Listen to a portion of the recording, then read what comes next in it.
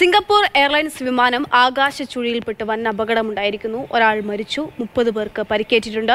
ബംഗാൾ ഉൾക്കടലിന് മുകളിൽ വെച്ചായിരുന്നു ഈ അപ്രതീക്ഷിതമായിട്ടുള്ള അപകടം. ലണ്ടനിൽ നിന്നും സിംഗപ്പൂരിലേക്ക് പറന്ന ബോയിങ് ട്രിപ്പിൾ സെവൻ വിമാനമാണ് ആകാശ ചുഴിയിൽപ്പെട്ടത് മുപ്പത്തിയേഴായിരം അടി ഉയരത്തിൽ പറന്ന വിമാനം പൊടുന്നനെ താഴേക്ക് പതിക്കുകയായിരുന്നു. മിനിറ്റുകൾക്കുള്ളിൽ ആറായിരം അടി താഴ്ന്ന് മുപ്പത്തിയൊന്നായിരം അടിയിലേക്ക് എത്തി. വിമാനത്തിലുണ്ടായിരുന്ന ഇരുന്നൂറ്റി പതിനൊന്ന് യാത്രക്കാരിൽ ഒരാൾ മരിച്ചു. ബ്രിട്ടീഷ് പൗരനായ എഴുപത്തിമൂന്നുകാരനാണ് മരിച്ചത്.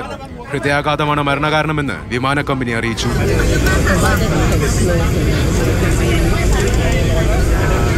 ഏഴുപേരുടെ പരിക്ക് ഗുരുതരമാണ്. അപകടത്തെ തുടർന്ന് വിമാനം അടിയന്തരമായി ബാങ്കോക്കിൽ ഇറക്കി.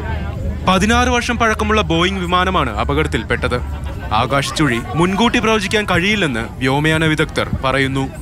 International desk Mathrubhumi news.